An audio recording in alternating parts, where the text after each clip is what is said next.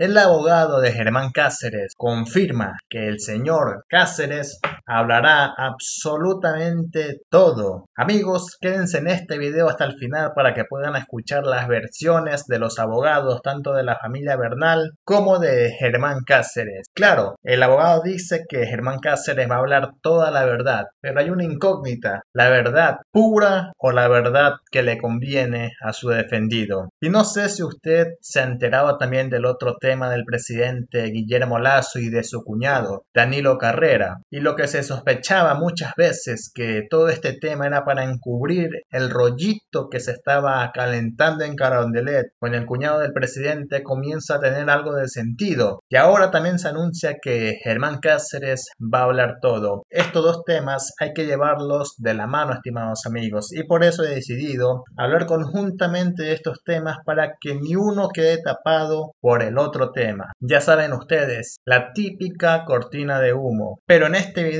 principalmente me centraré en las versiones que han dado los abogados. Usted ya sabrá que Germán Cáceres posiblemente en estas horas estaría realizando una prueba psicológica y el resultado se sabrá a breve con confirmación oficial. El abogado de Germán Cáceres dijo lo siguiente, Germán Cáceres no se acogerá al derecho al silencio, informó su abogado. Es criterio de esta defensa y es criterio de la familia. Señaló que hoy presentará un escrito para solicitar la ampliación de la versión para esclarecer la verdad. A ver, la versión en la que él dijo mentiras, bueno, tiene derecho a rectificar, porque en este momento se sabe que no dijo la verdad. Escuchemos entonces las palabras del abogado de Germán Cáceres. una diligencia con las palabras de ADN en la que Germán Cáceres, con el auspicio de su abogado, asistimos y aceptó libre y voluntariamente realizar esa diligencia. Luego que otra pericia. En este momento se está llevando a cabo la, la pericia del entorno social, del estudio del entorno social. Eh, todavía no se ha terminado, estamos esperando a que se concluya eh, y,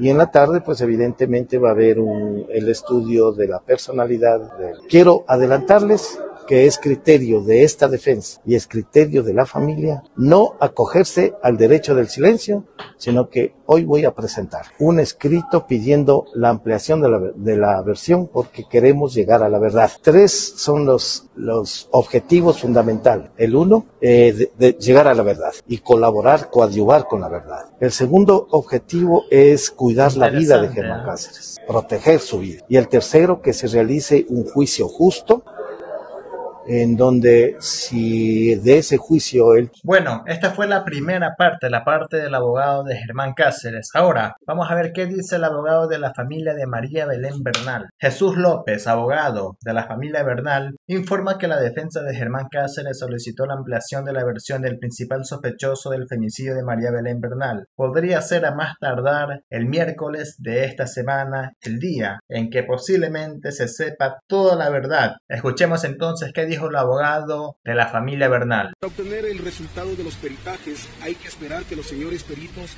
pasen los respectivos informes al expediente fiscal.